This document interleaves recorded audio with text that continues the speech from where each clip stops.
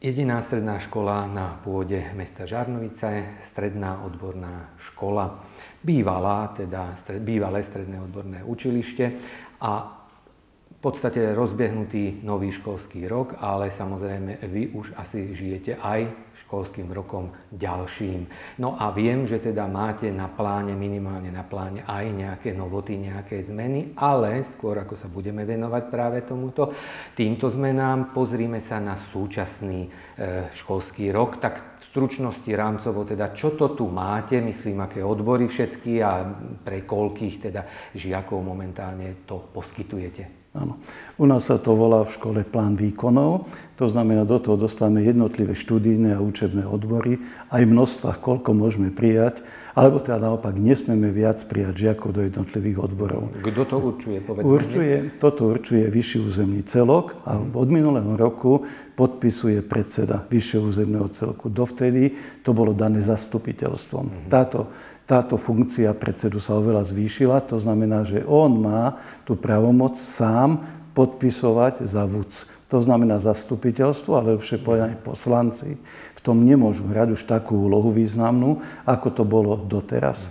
Takže v minulom roku sme prešli do toho, že vzhľadom na to, že sa rapidne, veľmi rapidne znížil počet žiakov zo základných škôl, keby sme to povedali historicky, tak na polovicu, je to veľký skok, mm-hmm. sa tie počty možnosti prijatia podstatne zredukovali. Mm-hmm. My sme otvárali, alebo dostali sme lepšie povedané povolenie, otvoriť tri študijné odbory, a to náš nosný, mechanik číslicovo riadených strojov, ďalej grafik digitálnych médií a pracovník marketingu so zameraním na cestovný ruch a na obchod.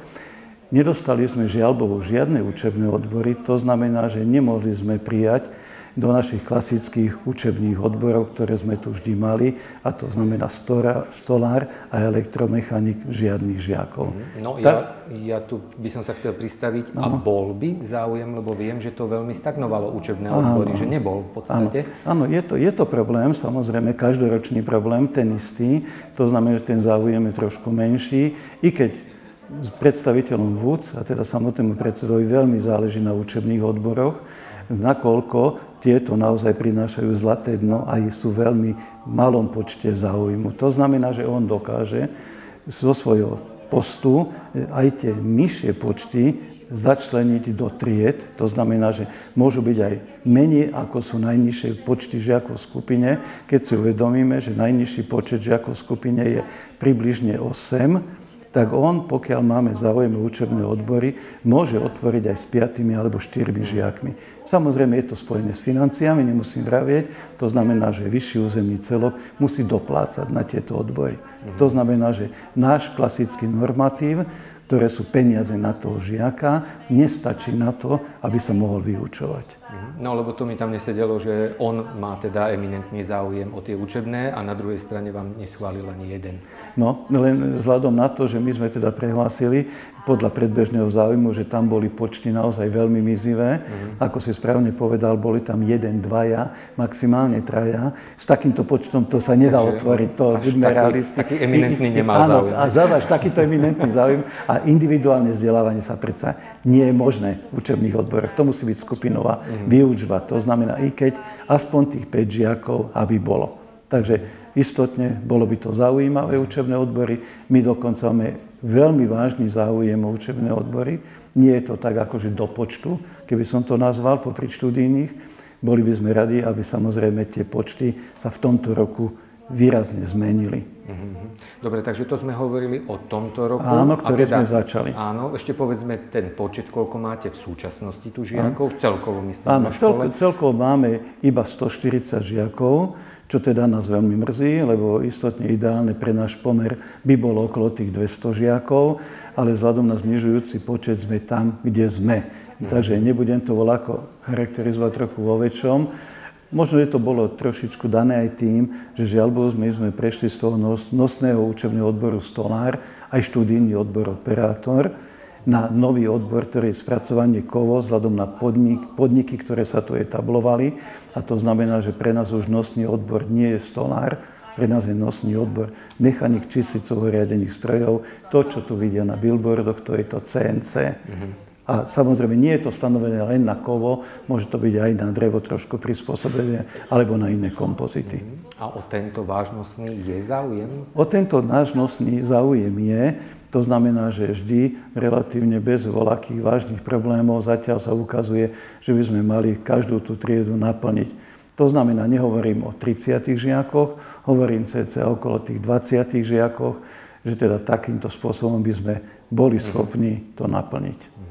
Dobre, tak už teda môžeme asi prejsť na, ten, na, na tú víziu v podstate Áno. na budúci školský rok. Tak čo máte na pláne, alebo možno čo máte už aj schválené? Neviem, Áno. či sa to už schválovalo. Áno, tieto, tieto jednotlivé odbory boli s nami už konzultované na vyššom územnom celku. V podstate sme sa dohodli. E, teraz už ide len o to, že vzhľadom na niektoré pripomienky, ktoré musia prejsť cez ministerstvo školstva, nie je možné okamžite, aby to v podstate rodičia a žiaci to poznajú na školskom výpočtovom stredisku, sa objavujú odbory, odbavujú, vybavuje sa aj počty možných prijatých žiakov. Dneska sú tam ešte nuly, aj tie odbory nie sú v takom rozsahu, ako sme boli, ako máme schválené. Takže vraciam sa k pôvodnej otázke, čo je teda nového. Nové je to, čo sme chceli. To znamená, že tento rok, alebo pre toto náborové obdobie, máme teda tie tri základné študijné odbory ako v tomto roku. To znamená mechanik číslicovoriadených strojov, grafik digitálnych médií a pracovník marketingu.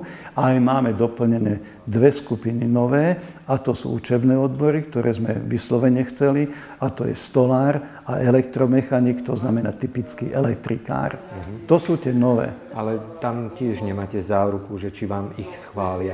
Áno, tieto učebné? Nie, tam už záruku máme. Aha. Predpoklad, vravím, že na 99% je to už schválené. Aha. Takže my už aj, keď máme tu teraz návštevy zo základných škôl, už vravíme otvorene, že tieto učebné odbory máme a na budúci rok v septembri naozaj ich otvárame. Uh-huh. Dobre, no ono asi najlepšie je, keď, e, ako sa hovorí, e, raz vidieť, ako dvakrát počuť, takže eventuálne v tejto chvíli tí diváci, teda vaši potenciálni žiaci, možno rodičia, keby mali záujem sa prísť vopred pozrieť na to, alebo na priestory samozrejme a samozrejme popýtať sa, čo to o tých svojich e, zaujímavých odboroch, tak majú šancu, môžu prísť? Samozrejme, môžu prísť kedykoľvek, nie je problém. Dokonca by som povedal, že veľmi ochotne, ochotne sa aj ja budem podielať, že s nimi prejdem po škole, hoci ktorý deň. Ale máme jedno obdobie, ktoré sa nazýva tak ako aj na ostatných školách, to je ten deň otvorených dverí. A u nás je to 10. decembra. Veľmi radi by sme boli, aby došli aj rodičia. Je to od rána až do odpoludňa do tretej. To znamená, keby bol záujem, aj dlhšie. A na tomto dni otvorených dverí prejdeme celou školou, všetky dielne, nič nejdeme zakrývať, všetko si rodičia môžu pozrieť, spýtať sa, všetko sa vyslovene, ako som povedal, na lopate vyloží. Dokonca sme si zaistili a pevne verím, že nám to vyjde, aby sa tu zúčastnil aj najväčší zamestnávateľ v tomto regióne, to znamená firma Neumann, ktorá by tu mala mať personálnu pracovníčku a pokiaľ rodičia a žiaci budú mať záujem aj o túto časť, ktoré je dneska zastrešené duálnym vzdelávaním, majú možnosť sa pospýtovať o detailoch. Samozrejme, pokiaľ budú chcieť medzičasom, nie je problém na našej internetovej stránke. Je telefónne číslo, ak ešte raz mailová schránka, kedykoľvek odpovieme, kedykoľvek podáme informáciu o všetkom, čo sa v tejto škole deje a predpokladám, čo sa bude diať v ďalšom roku. Áno. No samozrejme takýto typ škôl, teda stredných odborných škôl, bývalých, teda môžem povedať učilišť, má okrem teda tej teoretickej časti vždy aj tú veľkú zložku, hodinovú veľkú zložku aj praktickej e, činnosti týchto žiakov a práve o tom duálnom e, vzdelávaní by som sa rád porozprával, ale to nechám na ďalšieho odborníka, vášho hlavného majstra. No tak systém duálneho vzdelávania, tak ako sa to teda odborne nazýva, je nový systém vzdelávania, ktorý by mal teda priniesť lepšiu spoluprácu medzi zamestnávateľmi a školami. Aj keď musím povedať, že naša škola s tými zamestnávateľmi spolupracuje rádovo 10-20 rokov. V podstate hneď po revolúcii sa začalo s nejakou formou spolupráce a za posledných 10 rokov, čo som ja na tejto škole, tak vidím naozaj, že veľmi sa zintenzívnila tá spolupráca a naozaj si myslím, že to má aj celkom také, také slušné kontúry a sa nám to pomáha, teda darí pretavovať do takej reality. Systém duálneho vzdelávania ale tomu celému dáva skutočne taký nový rámec. E, principiálne je to o tom, že škola už není iba akoby vlastníkom toho žiaka, ale ten žiak je súčasne študentom školy, zároveň podniku. Takže ten podnik sa na rozdiel od toho starého systému stáva partnerom v tom vzdelávaní a plnohodnotným partnerom. Mhm. Takže môže vstupovať jednak do klasifikácie toho žiaka, čo bolo teda možné aj v minulosti, ale má oveľa väčšie právomoci už aj pri tvorení samotného školského vzdelávacieho programu. Takže môže priamo zamestnávateľ vstupovať do toho, čo sa tie deti v rámci teórie aj praxe učia a ako sa to učia. Mm-hmm.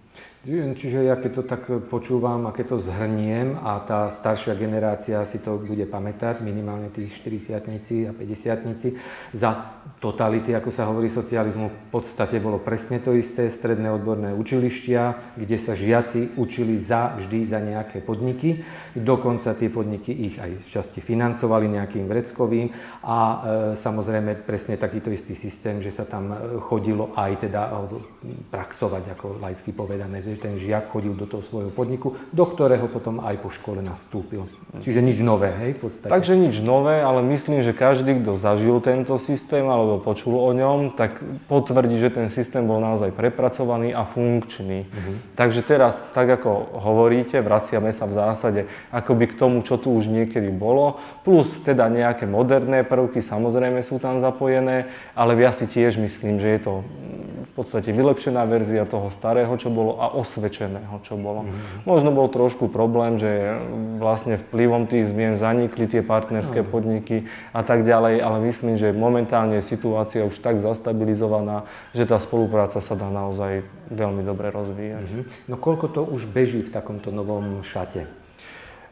Duálny, u vás možno. Neviem, duálny systém je otázka posledných 5 rokov, uh-huh. ale s tým, že tie prvé nastavenia duálneho systému neboli veľmi vhodné ani pre zamestnávateľov, ani pre školy. Minulý rok, vlastne v 2018, prišla nová, e, nová, vlastne nová novelizácia toho systému tak, že vlastne sa stal atraktívny jednak pre zamestnávateľov, tým, že zamestnávateľi majú, majú aj nejaké daňové bonusy, priame platby na žiakov, väčšie právomoci pri rozhodovaní o tých žiakoch a samozrejme aj spôsob financovania školstva je taký trošku taký zhovievavejší k tým mm. školám. No a skutočne, že za posledné dva roky sa ten duál začína rozbiehať. A to, čo ste sa pýtali, že ako je to u nás, tak v podstate my sme si prvé podniky dali certifikovať pred 4 rokmi, ale práve vzhľadom na to, o čom sme sa bavili teraz, že ten systém nebol tak dobre nastavený, tak vlastne naši študenti nabehli na duálne vzdelávanie vlastne v minulom roku. Takže tento rok máme prvákov, ktorí sú v rámci odboru mechanik číslicovo riadených strojov už duálnymi študentami. Uh-huh. A teda vyzerá to ako? Vyzerá to veľmi dobre, hovorím aj napriek tomu, že s, tými ostat... že s tými podnikmi spolupracujeme už dlhodobo, ale vidím pri tom duáli, že tie, tie, pod, tie podniky konečne tých študentov považujú za svojich. A skutočne, keď aj chodíme na kontroly alebo chodíme konzultovať veci s tými zamestnávateľmi, tak už povedia, to sú tí naši. A samozrejmosťou je potom, že keď ich už majú za svojich a za svojich potenciálnych zamestnancov ďalších, tak sa k ním tak aj stavajú a z toho potom plynú aj nejaké benefity pre tých študentov. Mm-hmm. Dobre, a čo hovoria teda samotní žiaci? Samotní žiaci si myslím, že sú zatiaľ spokojní, aj keď oni úplne ten duál až tak necítia, mm. lebo zase z požiadaviek tých zamestnávateľov nám vyšlo, že aspoň ten prvý rok, aby ešte mali ten odborný výcvik, tú prax v škole.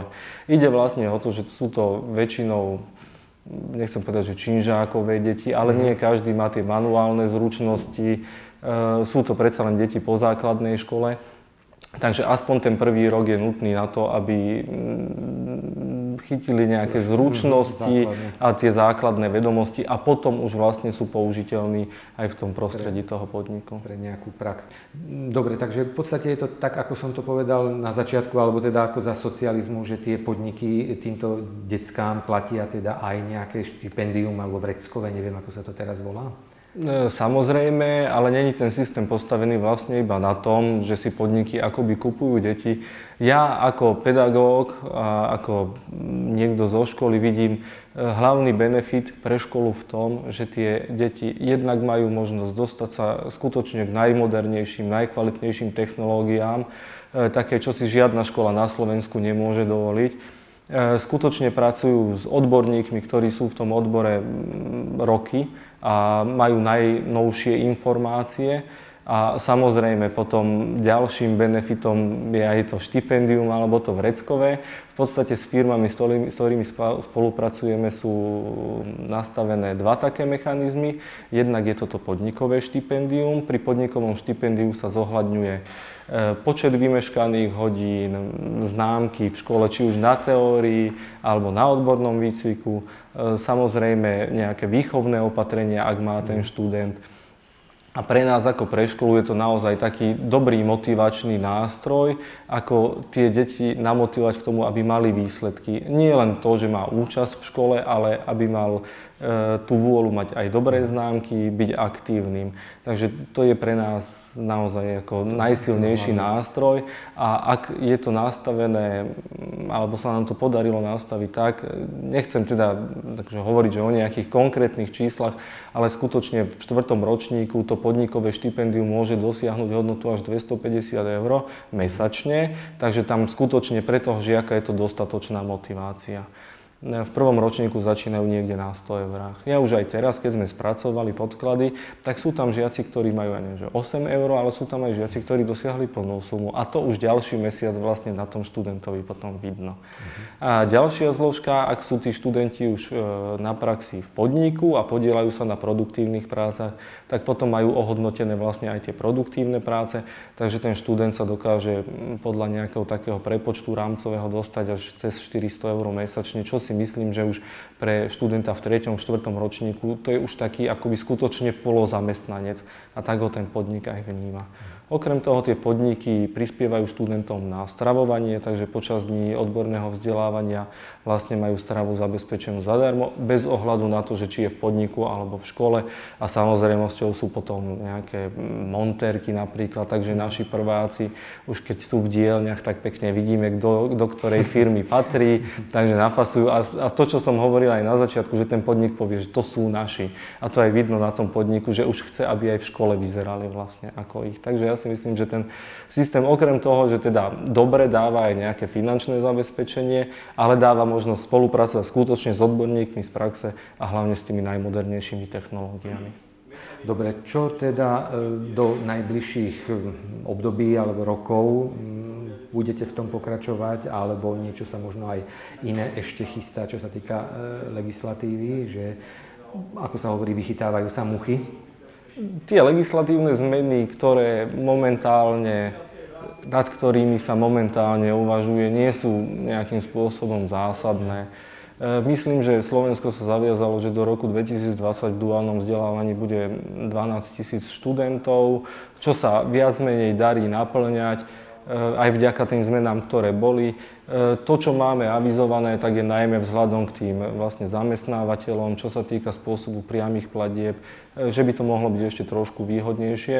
V rámci škôl sú to nejaké drobné legislatívne zmeny, hlavne teda vzhľadom na rozsah odborného vyučovania a vlastne to prepojenie teórie s praxou. Mm.